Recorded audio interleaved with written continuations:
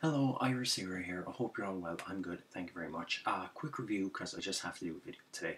Um, so, a quick review of uh, Super Meat Boy, which just came out on PlayStation 4. Uh, this game's been out a while. I think it came out five years ago on uh, on Xbox and then later Xbox 360 and later PC. But uh, today it just came out on PlayStation 4 and Vita. I don't have a Vita anymore, so I'm just playing the PS4 version. Um, and if you have PlayStation Plus, it's free. It's part of this month's Instant Game Collection. Um, it's Super Meat Boy. If you played it, um, if you played Super Meat Boy, it's the same game. So, which is good because it's a very, very great game. Um, I don't remember the soundtrack as much. Apparently, it doesn't have the same soundtrack as it's different in some way. I don't know what the difference is. I'm sure if you look online, you can find it. Uh, plays great.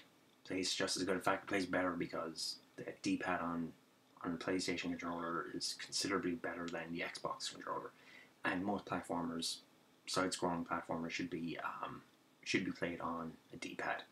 Unfortunately, that's where um, that was the biggest uh, problem with the 360 controller. Um, besides hurting my fingers the way it's designed, um, is uh, D-pad. D-pad sucks, uh, but the PlayStation One is far superior. So I think it's a better experience. Just me. Uh, so yeah, it's Super Meat Boy. Um, just as you remember it. I haven't played it in a while, so I'm kind of getting back into it. But it's just as fun. I imagine what I'm told. It's even. It's a great, perfect experience on Vita. So if you have that, if you get the if you get it on PS4, it's cross-bought, so you'll get the Vita version anyway. So if you have a Vita version, if you have a Vita, copy it over. There you go. Bob's your uncle, as they say. And I will say goodbye because I am done.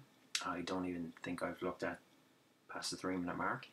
Don't care, just need to get a video out. So Super Meat Boy, go for it, and it's free on PlayStation Plus. Which I'm sure if you have a PlayStation 4, you probably have PlayStation Plus anyway. And if you don't, you should.